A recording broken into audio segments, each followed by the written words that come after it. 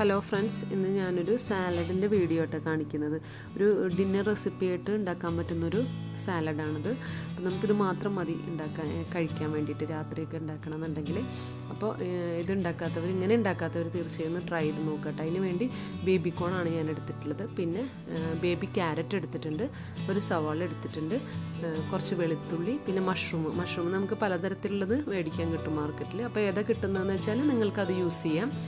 അപ്പോൾ നിങ്ങളുടെ അടുത്ത് കയ്യിൽ ഏതുള്ളതെന്ന് വെച്ചാൽ അത് മാത്രം അതൊക്കെ എടുത്ത് ഉണ്ടാക്കിയാൽ ബ്രോക്കലി എടുക്കാം പിന്നെ ക്യാപ്സിക്കം അത് എന്റെ അടുത്ത് ഒരു മൂന്ന് നാല് കളറുണ്ട് അത് ഏതാ നിങ്ങളുടെ അടുത്തുള്ളതെന്ന് വെച്ചാൽ അത് എടുക്കാം. അപ്പോൾ ആദ്യം തന്നെ എല്ലാം ഒന്ന് കഴുകി വൃത്തിയാക്കി എടുക്കുക അപ്പോൾ അതുപോലെ ബ്രോക്കലിയൊക്കെ ഇതുപോലെ ഒന്ന് ചെറുതായി കട്ട് ചെയ്തെടുക്കാം. അതുപോലെ എല്ലാം ഇതുപോലെ എടുത്തു വെച്ചതൊക്കെ ഒന്ന് ചെറുതായി കട്ട് ചെയ്തെടുക്കുക അപ്പോൾ എല്ലാം ഞാൻ ഫുള്ളായിട്ട് എടുക്കുന്നില്ല. മഷ്റൂം ആണെങ്കിലും ഒരു മൂന്നെണ്ണം ക്യാരറ്റ് ആണെങ്കിലും കുറച്ച് അങ്ങനെ ഒരു മൂന്ന് നാലെണ്ണമൊക്കെ എടുക്കുന്നുള്ളൂ കേട്ടോ അപ്പോൾ മഷ്റൂം നമുക്ക് ഇതുപോലെ അതിന്റെ ആ ഒരു ഞെട്ടൊക്കെ കളഞ്ഞ് കഴുകിയെടുത്തതിന് ശേഷം വേണം കേട്ടോ അതൊന്ന് കളയാൻ. അല്ലെങ്കിൽ അതിന്റെ ഉള്ളിൽ വെള്ളം കയറും. അപ്പോൾ നമുക്ക് വേവിക്കുമ്പോൾ ഭയങ്കരമായിട്ട് വെള്ളം വരും. അപ്പോൾ എല്ലാം ഞാൻ ഇതുപോലെ കട്ട് ചെയ്ത് വെച്ചിട്ടുണ്ട് കേട്ടോ. ചെറിയ ചെറിയ ക്യൂബ്സായിട്ട് കട്ട് ചെയ്ത് വെച്ചിട്ടുണ്ട്. നമുക്കൊരു പാനിലേക്ക് ഒലിവ് ഓയിൽ ഒഴിച്ചു കൊടുക്കാം. ഒലിവ് ഓയിൽ ഇല്ലെങ്കിൽ നിങ്ങളടുത്ത് സൺഫ്ലവർ ഓയിലോ വെജിറ്റബിൾ ഓയിലോ വെജിറ്റബിൾ ഓയിലോ ഒഴിച്ചു കൊടുക്കാം. അതിലേക്ക് ഗാർലിക് ഇട്ടൊന്ന് സോട്ട് ചെയ്യാം. അപ്പോൾ ആദ്യം തന്നെ ഒന്ന് ഗാർലിക് ഒന്ന് ജസ്റ്റ് അത് ആ കടിക്കുമ്പോൾ ഒരു പച്ച ഇത് പോകാൻ വേണ്ടിയിട്ട് ആദ്യം ഗാർലിക് ഇട്ടൊന്ന് വഴറ്റാം. എന്നിട്ട് അതിലേക്കൊന്ന് സവാള ഇടാം. അത് പെട്ടെന്ന് പെട്ടെന്ന് എന്നെ ജസ്റ്റ് ഒന്ന് ചൂടായി വരുമ്പോൾ തന്നെ എടുത്തിടാം അങ്ങനെ സ്റ്റെപ്പ് സ്റ്റെപ്പായിട്ട് ഇട്ട് കൊടുക്കാം കേട്ടോ. അല്ലാണ്ട് കുറേ നേരം വേവിച്ചെടുക്കൊന്നും വേണ്ട. ഇതൊക്കെ ഒന്ന് ക്രിസ്പായിട്ട് തന്നെ ഉണ്ടാവണം ഇത് കഴിക്കുമ്പോൾ ഇതിന്റെ അകത്തേക്ക് നമുക്ക് ക്യാരറ്റും ബേബി കോണും ചേർത്തിട്ട് നമുക്കൊന്ന് വഴറ്റാം.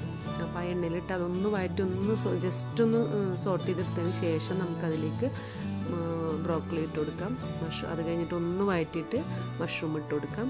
അപ്പോൾ നമുക്ക് ഇതൊക്കെ പെട്ടെന്ന് തന്നെ ഒന്ന് സോഫ്റ്റായി കിട്ടും. വല്ലാണ്ട് ക്രിസ് സോഫ്റ്റ് ആവാനും പാടില്ല കേട്ടോ. വെന്തിങ്ങനെ ഉടഞ്ഞു പോകാനും പാടില്ല. അപ്പോൾ ഒരു ക്രിസ്പായിട്ട് തന്നെ കഴിക്കാൻ വേണം. പിന്നെ അവസാനം നമുക്ക് ക്യാപ്സിക്കം ചേർത്ത് കൊടുത്താൽ മതി. അപ്പോൾ ഇതിങ്ങനെ ചേർത്തിട്ട് നിങ്ങൾക്ക് ഉപ്പും കുരുമുളകിട്ട് എടുക്കാം. അല്ലെന്നുണ്ടെങ്കിൽ ഇതിലേക്ക് കുറച്ച് കോൺഫ്ലവർ ഒരു ഒരു ടീസ്പൂൺ കോൺഫ്ലവറിൽ കുറച്ച് വെള്ളത്തിൽ കലക്കിയിട്ട് കുറച്ച് വെള്ളം ഏകദേശം രണ്ട് രണ്ട് ടീസ്പൂൺ അങ്ങനെ രണ്ടോ മൂന്ന് സ്പൂണിൽ വെള്ളം കലക്കിയിട്ട് ഇതിലേക്ക് ഒഴിച്ച് ഒന്നെല്ലാം കൂടി ഒന്ന് മിക്സ് ചെയ്തെടുക്കുക. അത്ര തന്നെ മതി. എല്ലാം കൂടി ഒന്ന് യോജിച്ച് വരാൻ വേണ്ടിയിട്ടാണ് കേട്ടോ. അതങ്ങനെ താല്പര്യമുള്ളവർക്ക് അങ്ങനെയും വേണേ മിക്സ് ചെയ്തെടുത്ത് അങ്ങനെയും കഴിക്കാം. അതൊരു ഇതിനേക്കാളും കുറച്ചും കൂടി ഒരു ടേസ്റ്റ് ഉണ്ടാവും. അങ്ങനെ കഴിക്കുമ്പം ആ ഒരു കോൺഫ്ലവറിന്റെ കലക്കി ഒന്ന് ഒഴിച്ചിട്ട് കഴിക്കുമ്പോൾ കേട്ടോ അപ്പോൾ അങ്ങനെ വേണ്ടവർക്ക് ഇടയ്ക്ക് അങ്ങനെ ഒന്ന് ഉണ്ടാക്കി നോക്കാം. അപ്പോൾ ഇങ്ങനെ ഇതുപോലെ എല്ലാം കൂടി ചെയ്യാത്തവർക്ക് ഇല്ല ചെയ്യാത്തവർ തീർച്ചയായും ഒന്ന് ട്രൈ ചെയ്ത് നോക്കാം. അപ്പോൾ ഒരു ഡിന്നർ റെസിപ്പി ആയിട്ട് നമുക്ക് ഉണ്ടാക്കാവുന്നതാണ്. അപ്പോൾ എന്റെ വീഡിയോ ഇഷ്ടമായി ലൈക്ക് ചെയ്യാനും കമന്റ് ചെയ്യാനും ഷെയർ ചെയ്യാനും മറക്കരുത്. ഇൻഷാല്ല അടുത്തൊരു വീഡിയോ ആയിട്ട് വീണ്ടും വരാം. താങ്ക്